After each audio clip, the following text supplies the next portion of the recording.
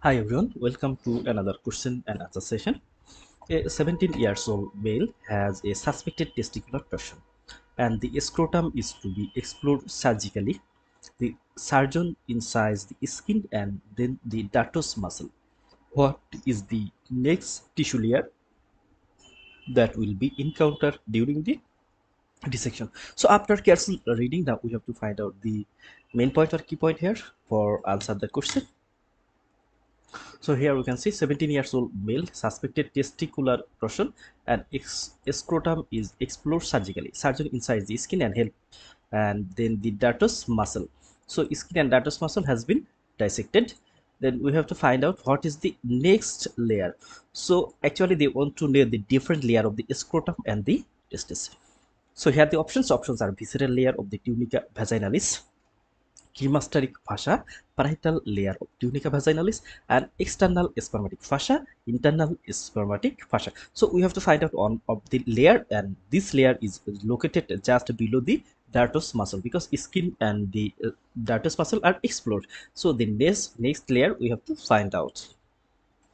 So in this picture we can see the different layers of the scrotum here, and we can see the finally testis which is located into the scrotum so here we can see first of all outside all of them in the scrotum first of all this is the skin. Then dartos muscle. So this reddish structure is the dartos muscle.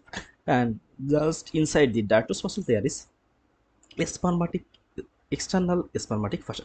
So this layer this green layer is external spermatic fascia. Then we can see there is muscle and fascia. So it is the cremastic muscle and fascia here. Uh, this reddish area is the muscle and the area between the muscle is the fascia. So it is the cremastic muscle and fascia. Then we can see inner layer internal spermatic fascia and muscle and uh, uh, internal spermatic fascia. And finally it is the testis. So these are the layers of the scrotum. Again skin dartos muscle.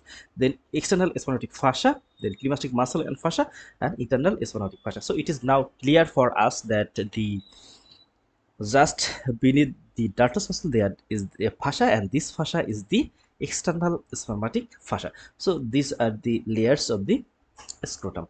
In this picture we also can see here this is the testis and outside the testis there are the different layers first of all here we can see the skin then dartos muscle then skin dartos muscle then we can see these three structure external spermatic fascia cremastic muscle and fascia and internal spermatic fascia. So just below the dartos muscle there is a fascia which is the external spermatic fascia.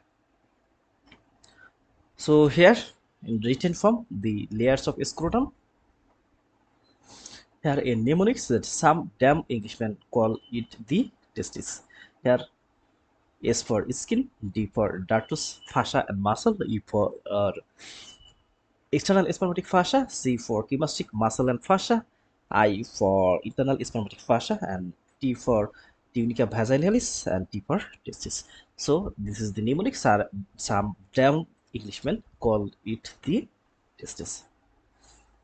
So our final answer is ready now. That the just behind the uh, dartos muscle there is the layer. This layer is the external spermatic fascia. On the other hand we can say the tunica vaginalis uh, vaginal layer tunica vaginalis it is actually not layer of scrotum it is layer of the testis. Then cremastic muscle and fascia it lies in inner side of the external spermatic fascia. Then parietal layer of tunica vaginalis it also the uh, here you can see it is the most inner layer of the scrotum then internal spermatic fascia it is one of the layer but it also uh, depart to the cremastic muscle and fascia.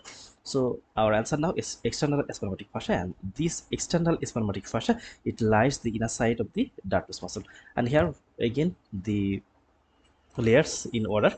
First of all skin then dartos muscle. Then external spermatic fascia cremastic muscle and fascia then internal spermatic fascia and parietal layer of tunica vaginalis thank you all